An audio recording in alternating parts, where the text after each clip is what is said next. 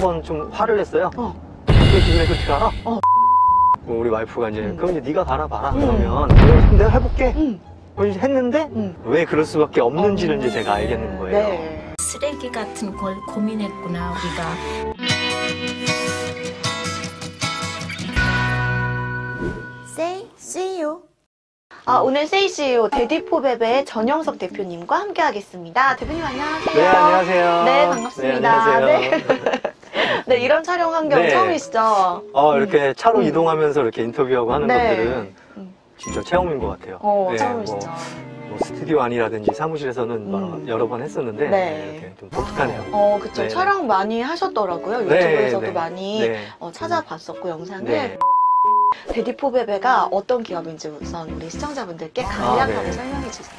어, 저희 데디포웹에는 부모들의 육아를 새로운 시선으로 음. 관찰을 해서 그 안에서 더 편리하고 행복한 육아가 될 수 있도록 제품과 서비스들을 어, 계속 예, 제안하는 그런 회사입니다. 네. 육아용품을 만드는 네네네. 네. 기업인데 이름 자체가 데디포베베. 우리 네. 아이를 위한, 아이를 위한 아빠의 아빠. 마음이 느껴지는. 아, 네, 그렇습니다. 네. 네. 아이를 직접 키우고 계신 거죠, 지금? 네, 맞습니다. 지금 8살, 5살 아들 둘이고요. 네. 네, 이, 그, 창업도 마찬가지로 아이를 네. 키우다가 실전 육아에서 떠오른 아이디어를 가지고 창업을 했습니다. 창업을. 네. Say, see you. 기저귀를 가시면서 음. 뭔가 이렇게 아이디어가 떠오르시다고 네네네. 하는데 뭐가 힘드셨어요?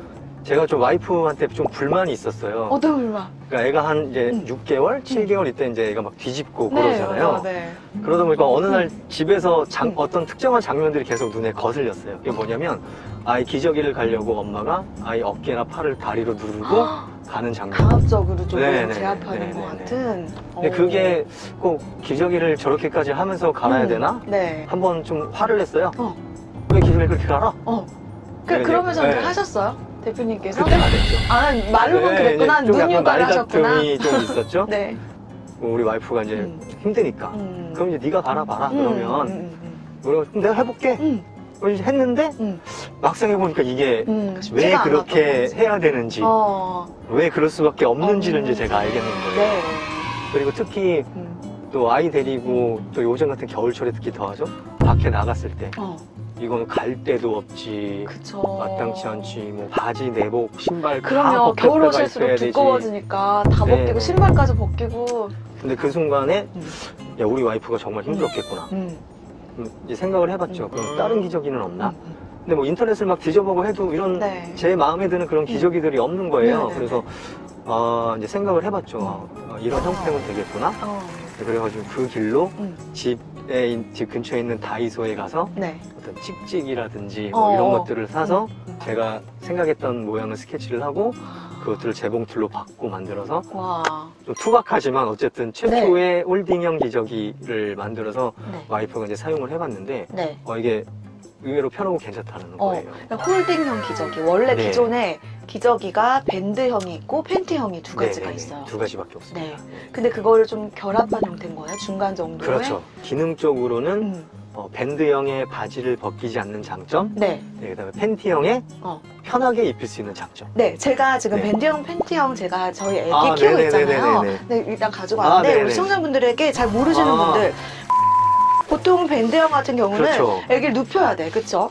맞아요. 눕혀서 엉덩이 밑에 이렇게. 대고 이렇게 위로 덮은 다음에 찍찍이로 붙여줘야 어. 붙여줘야 되는 네네네. 그런 형태인데 팬티형은 정말 팬티처럼 이렇게 되죠? 서서도 입힐 수 있는 네네네. 이런 형태인데 지금 둘 다 사실 단점이 있죠. 있죠. 아까 있죠. 말씀하셨듯이 네. 옷 갈아입힐 때다 벗겨야 된다. 네, 근데 홀딩형은 일단 서서 입히는 건데 네. 궁금해요.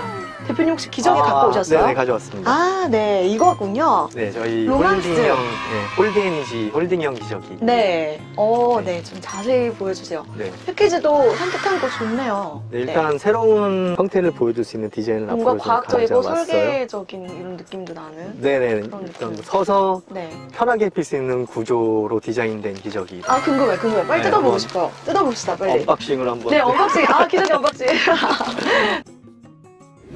SAY CEO.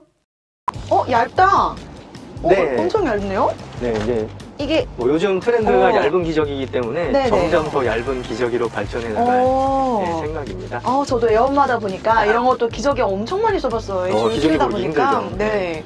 어, 이거 이렇게 생겼군. 어머, 네, 그럼 이게 holding형. 그러니까 holding형이죠. 허리에 채운다고 들었는데 처음에. 네, 아, 여기까지는 밴드형하고 한번 비교해볼까요? 어, 애기 인형을 갖고 왔어요.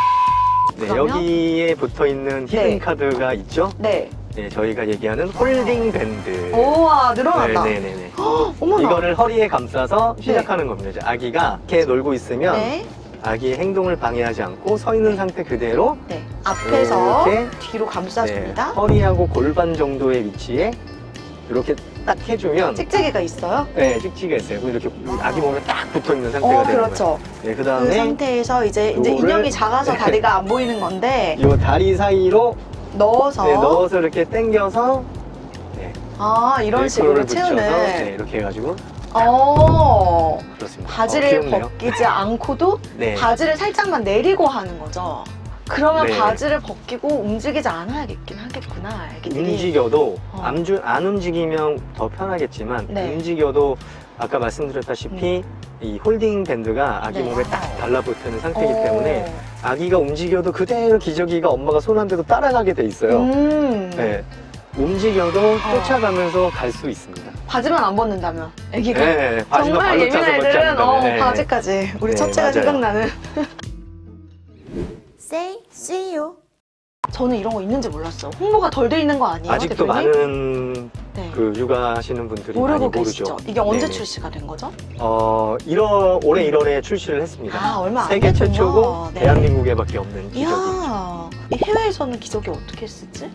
해외에서도 밴드형, 팬티형 두 가지밖에 그래요? 없습니다. 그럼 네. 대표님 정말 획기적인 아이디어로 이렇게 네네네. 헉, 좋다 이거 해외 네. 진출도 지금 앞두고 있으신 네, 그래서 저희가 거예요? 지금 글로벌 특허까지 다 출원이 돼 있고 어. 지금 한국, 일본, 인도네시아 이렇게 네네. 3개국은 등록까지 맞춰져 있는 상태고요. 오. 미국, 캐나다, 멕시코, 뭐 유럽, 어. 뭐 이런 주요 네. 국들에는 출원이 지금 돼 있는 상태입니다. 아 멋집니다 진짜 네네네. 앞으로 무궁무진한 발전점이 있는 그런 기업이네요 네네. 그래서 한국에서 네. 좀 하나의 카테고리, 기저귀 음. 카테고리로 잘 정착한 이후에 네. 예, 순차적으로 해외 진출을 음. 지금 하고 있고 네.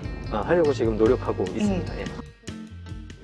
Say see you 엄마 아빠들이 육아하시면서 사소한 것들이 계속 쌓이고 쌓이면 정말 육아 스트레스로 맞아요. 이어지거든요 진짜 맞아요. 네 기저귀 부분만 해결이 네. 돼도 네네네. 엄청 네. 그 마음에 그 짐이 되는 네. 느낌 네. 또 저희도 기저귀라도 우리 음. 엄마들이 편하게 갈 수. 있었으면 하는 마음으로 네.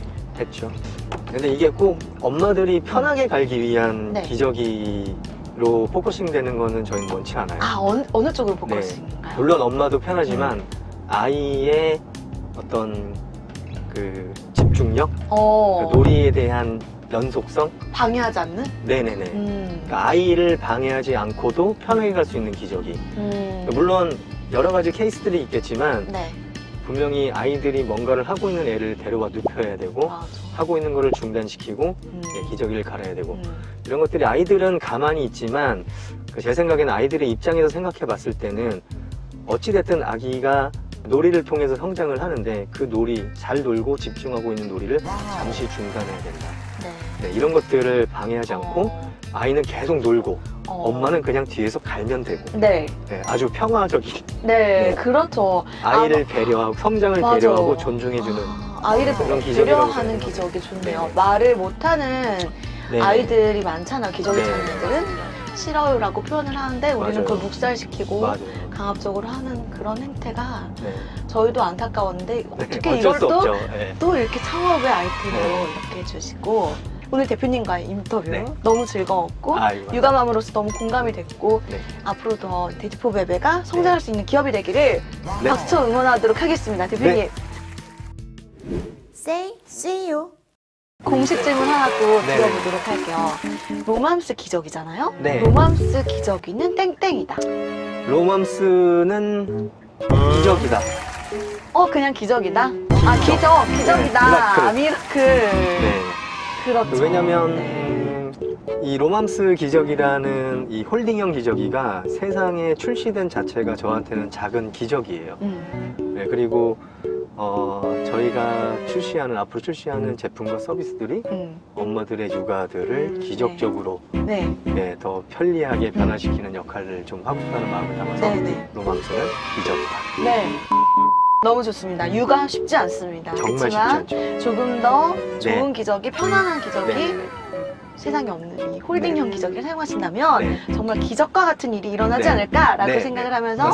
아 그리고 대표님께서 우리 구독자 여러분들 중에서 네. 또 특별히 이벤트를 하나 준비하셨다고 아, 네. 하는데요. 네. 우리 구독자분들께 네. 총 다섯 명을 추첨해서 네, 예, 저희 홀딩형 기저귀를 보내드리도록 하겠습니다. 좋습니다. 네. 네. 다섯 분 추첨을 해서 또 기저귀를 보내드린다고 하니까요. 여러분 댓글도 많이 눌러주시고 좋아요, 구독 많이 눌러주시길 바랍니다. 오늘 전현석 대표님과 네. 함께했습니다. 대표님 오늘 즐거웠습니다. 네, 고맙습니다. 감사합니다. 감사합니다. Say see you.